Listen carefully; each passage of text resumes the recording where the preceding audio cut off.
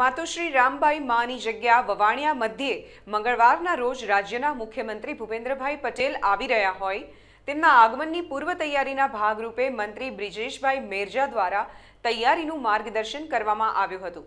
તો મુખ્યમંત્રીના આગમનને પગલે સુરક્ષા વ્યવસ્થા, હેલીપેડ, સ્ટેજ, ગ્રીન રૂમ, બેઠક વ્યવસ્થા, ટ્રાફિક પાર્કિંગ, વીજ પુરવઠો, કાર્યક્રમના સ્થળે એમ્બ્યુલન્સ, મેડિકલ ટીમ સહિત વિવિધ વિભાગોની કામગીરી સહિતની કામગીરીનું નિરીક્ષણ કર્યું હતું.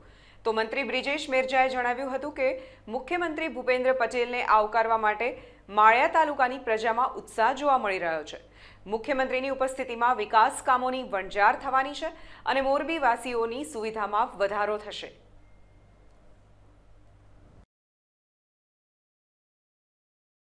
વવાણિયામાં આહિર સમાજના એક માં રામબાઈ માં નામના એક સતી થઈ ગયા.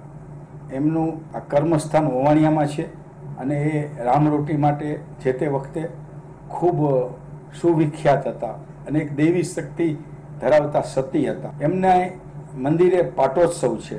એટલું જ નહીં, પ્રવાસન નિગમ દ્વારા આ મંદિરમાં ત્રણ કરોડના ખર્ચે જુદા જુદા સભાખંડો રસોડું અને એવી જે સુવિધાઓ આપેલી છે.